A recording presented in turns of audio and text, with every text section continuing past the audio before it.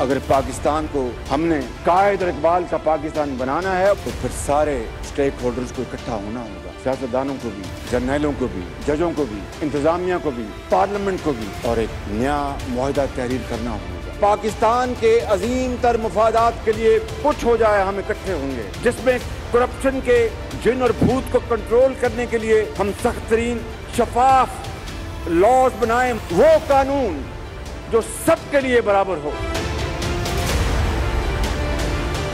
पंजाब के इस नौ साल साढ़े नौ साल दौर में अगर मेरे खिलाफ किसी एक भी मंसूबे में आधे पैसे की करप्शन हो तो पूरी कौम का हाथ और मेरा गरेबान। रेंटल पावर प्रोजेक्ट में सरे महल आपने इस मुल्क को लूटा है और आप लोगों को आप भाषण देते हैं आज कलगी लगाकर। जरदारी साहब, सुन ले मेरी बात, ये कौम एहतसाब करेगी इंशाल्लाह एक दिन। अगर एहतसाब अगर अदालत ने ना किया, अगर एहतसाब नैब ने ना किया तो फिर अवाम की अदालत जो है, वो एहतसाब करेगी।